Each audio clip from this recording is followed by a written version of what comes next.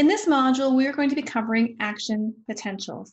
And the reason this is important is because it involves the electrolytes. And whenever our patient has an imbalance in their electrolytes, it has the potential to create an arrhythmia. So understanding the movement of electrolytes throughout the cell that are primarily involved in creating an action potential, which is the movement of energy from one cell to another and allows for that mechanical contraction, will help us to understand arrhythmias in the future. So let's get started. Okay, so here we have our electrolytes that are primarily involved in the action potential. Now, sodium and calcium are found in greater concentrations in the extracellular fluid, and potassium is found in greater concentrations in the intracellular fluid. It is the movement of these electrolytes that we talk about and how their movement creates changes in the cell that will result in a contraction and a relaxation, relaxation of a myocyte also known as depolarization and repolarization. Now, due to the location of the sodium and the calcium in the extracellular fluid and the abundance of them, the net charge is higher on the outside than it is internally inside the cell. This means that if you had, for example, a bank account and you had more money at home than you had in the bank, you would have a positive surplus in home and less in the bank. Now I want to also add here that we do have a value that we associate with the electrical charge of the cell. And so at this rate in its resting state, minus 60 millivolts is that resting charge. So just imagine maybe you're minus $60 overdrawn, and this will maybe help to give you a sense of how this is going to work. So when an action potential is initiated, the first thing that happens is that the sodium needs to move into the cell. And so we have these things called funny channels, and I'll put them in here for you. Once they are stimulated to create a change, that sodium will start to move inside the cell. Now, if I've got positive coming inside, so just think you're making a deposit into the bank, you're no longer going to be $60 overdrawn, but you've put some money in. So now we're going to actually move it to a minus 40. We're only $40 overdrawn now. So things are getting better, right? And then once we hit to that minus 40, it kicks into another element of this action potential chain. And that means that the calcium channels are going to open. And so maybe in this case, you found somebody who's going to match your donations. And so the calcium channels are also going to contribute. And when they open, that calcium moves inside. So again, we have more positive going inside. And then that causes a massive increase in the value to a positive 10 of millivolts. And this is where the contraction actually occurs.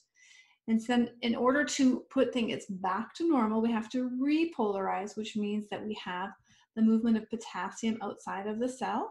Sorry, then we'll have the sodium pump channels open, which will actually push more sodium out against the gradient because it's still positive outside the cell, but we need to push it out.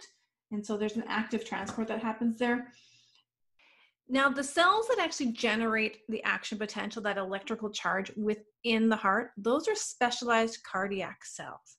And that's the ones we are talking about at the minus 40 or minus 60 millivolts and going up to the plus 10. The actual cardiac myocytes, the muscle cells, require a little bit larger stimulus. So we're going to look at two different pictures next. The first will show you the action potential against the cardiac specialized cells. And then the second one is going to show you the difference with the myocytes. Essentially, the, the concepts of action potential is the same. It will help you to put together the medication with the site of action and how that will be impacting a cardiocyte versus a myocyte, a cardiomyocyte. Let's just take a look at that next. You can see there's different phases, we call them. You do not need to know that for this, but this is just to put this into a different perspective for you.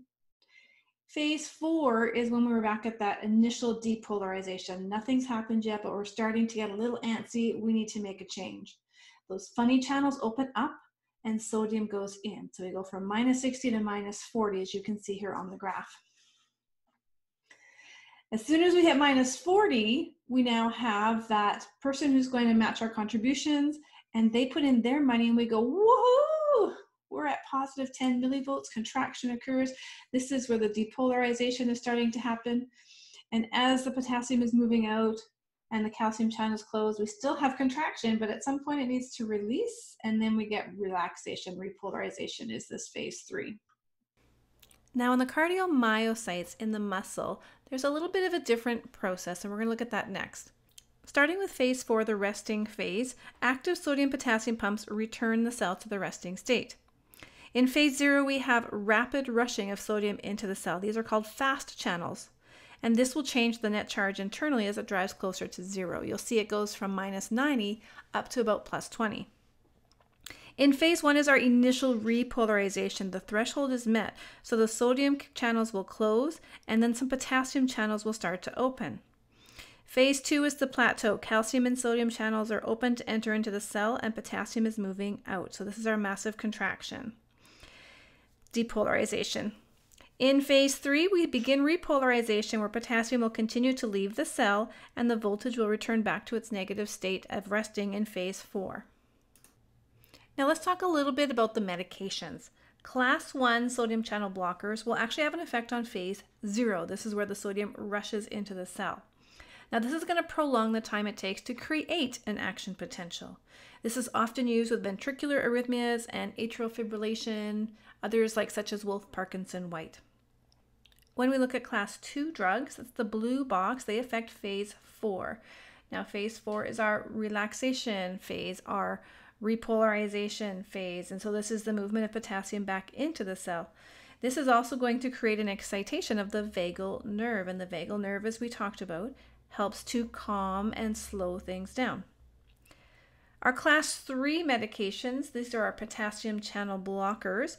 They're going to create a change in the atrial and ventricular arrhythmias by preventing the movement of potassium back into the cell delaying the time it takes to repolarize and being able to accept a new signal.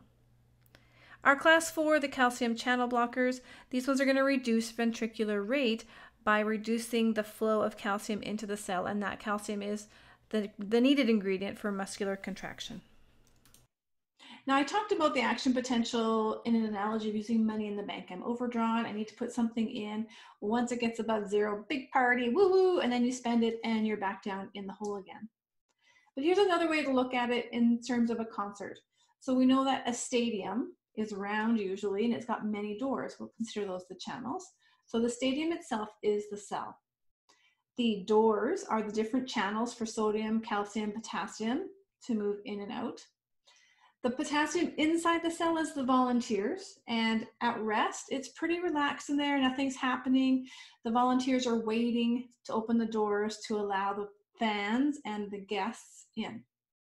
Sodium is going to be you, the fan, and there's a lot of fans outside. So you can imagine the energy outside the stadium is quite heightened compared to what's happening inside the stadium. They're just hanging out waiting.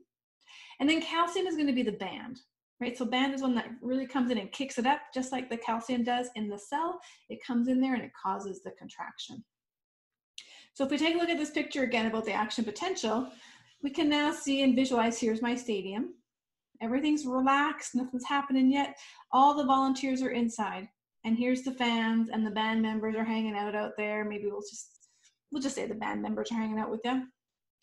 Now, when those doors open, as you have gone to a concert before, and those doors open, there's usually a mad rush of people coming in.